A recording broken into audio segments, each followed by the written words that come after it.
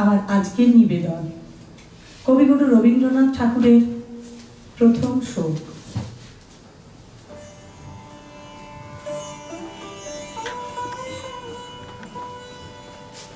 কবিতাটি তেরোশো ছাব্বিশ বঙ্গাব্দে আষাঢ় মাসে কবি লিখেছিলেন।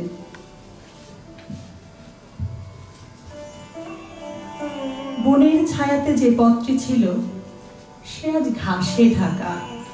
সেই নির্জনে হঠাৎ পিছন থেকে কে বলে উঠল, আমাকে চিনতে পারো না? আমি ফিরে তার মুখের দিকে তাকালেন।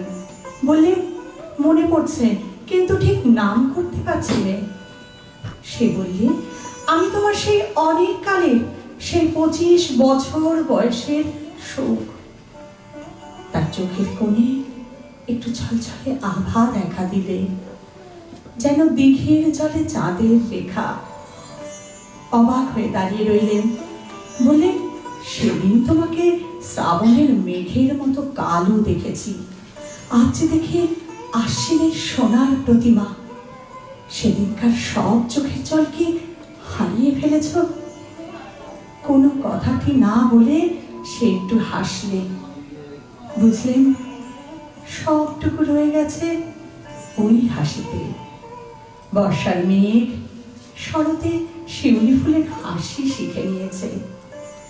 আমি জিজ্ঞাসা করলেন, আমার সেই পঁচিশ বছরের যৌবনকে কি আজও তোমার কাছে রেখে দিয়েছ? সে বললে এই দেখো না, আমার গলার হার। দেখলেন, সেদিনকার বসন্তের মালার একটি পাপড়িও খসেনি। আমি বললেন, আমার আর তো সব চিহ্ন হয়ে গেল। কিন্তু তোমার গলায় আমার সেই পঁচিশ বছরের যৌবন, আজও তো লাল হয়নি। আস্তে আস্তে সেই মালাটি নিয়ে সে আমার গলায় পরিয়ে দিলে। বললে, মনে আছে? সেদিন বলেছিলে, তুমি সান্ত্বনা চাও না, তুমি শোককেই চাও?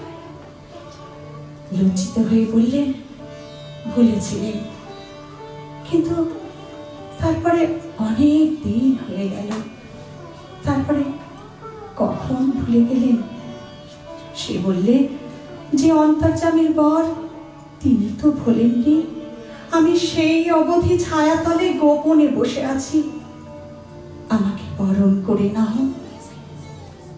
আমি তার হাতখানি আমার হাতে তুলে নিয়ে বললেন, একেই তোমার অপরূপ মূর্তি। সে বললে যা ছিল শোক আজ তাই হয়েছে।